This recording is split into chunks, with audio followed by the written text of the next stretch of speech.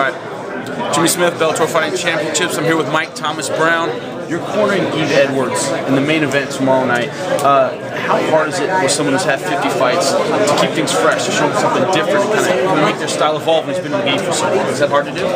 He's evolving all the time, especially since he came with American top team. He's changed his game a lot in the past few years, and uh, he's really developed. He's, he's a much different fighter now than he was two years ago. How, how has he been different? How do you guys change his style?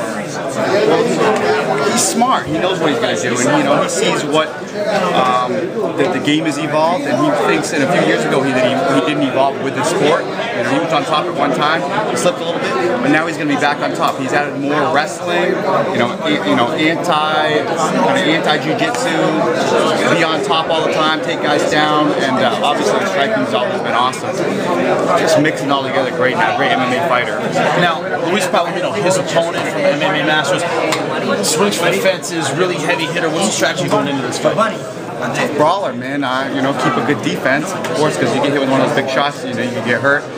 Uh, you know, he's going to go in and out, use angles. He's going to do his thing. Uh, you know, watch out for the flying panther things. It's coming.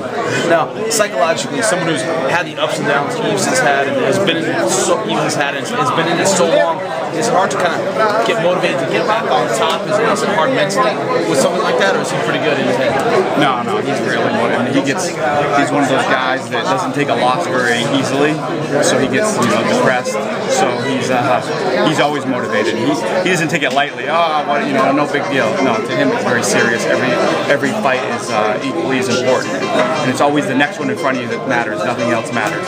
Now, what's up with you? You recently had a fight against Manny Gamburyan. What's next for you in WEC? I'm going to be September 30th card. They're not certain yet who it's going to be, but uh, they said um, September 30th. And, uh, I'm just waiting on a signed contract, and I was good to go. Best of luck to you, man. Good luck tomorrow night with Yves. All right, thank you so much.